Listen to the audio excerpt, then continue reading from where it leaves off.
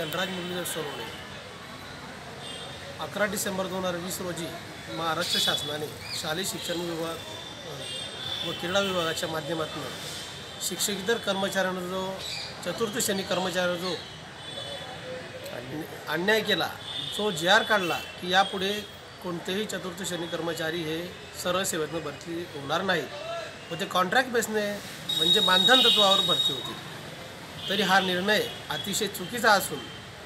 शासन ज्या पद्धतीने अन्याय आमच्यावर करत आहे शिक्षकेतर कर्मचाऱ्यांवर चतुश्रमी कर्मचाऱ्यांवर अन्याय करत आहे याचा आम्ही पाचोरा तालुका शिक्षकेतर संघटनेमार्फत मी स्वतः धनराज मुरलीधर सोनवणे व तालुका अध्यक्ष दाभाडे सर दा दाभाडे दादा यांच्या माध्यमातून जाहीर निषेध करतो. पण नुकतंच आम्ही आता तहसीलदार साहेबांना निवेदन दिलेलं आहे. या मागणी संदर्भात तहसीलदार साहेबांनी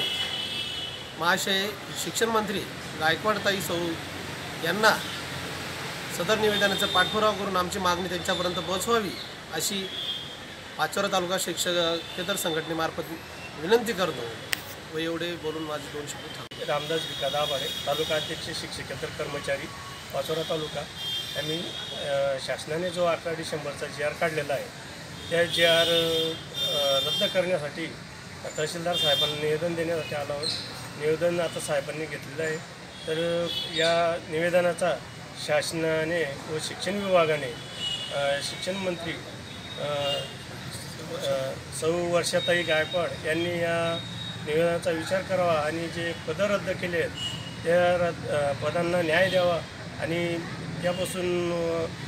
जे काही घटक वंचित राहणार आहेत त्यांना न्याय मिळवून द्यावा अशी शासन दरबारी आम्ही विनंती करत आहोत.